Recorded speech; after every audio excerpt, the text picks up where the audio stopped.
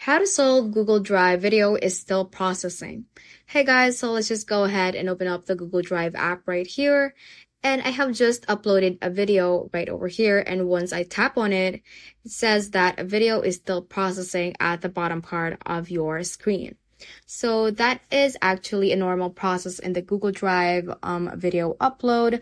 So what you can do is to first wait for it to be processed by Google Drive. So it basically depends on the duration of the video, the file size, and also your internet connection. So you might just have to wait for a while for it to be processed by Google Drive video. So you can wait for minutes, two hours, and check back again if your video is has now been processed. So this is a relatively a short video, so it should be processed in like minutes, but Another um, step that you can do if it still has not been processed after a long while than usual is to log out of your Google account. So tap on your icon at the top right part and click on manage accounts on this device and click on remove from this device. Now, once you have removed that account, you can just relog in that specific Google account to this Google Drive app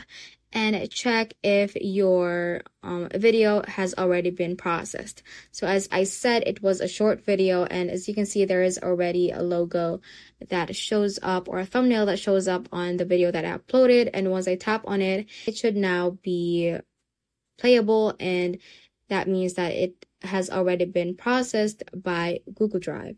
So that ends this tutorial. I hope this video helped you out. If it did, don't forget to like the video and subscribe to the channel.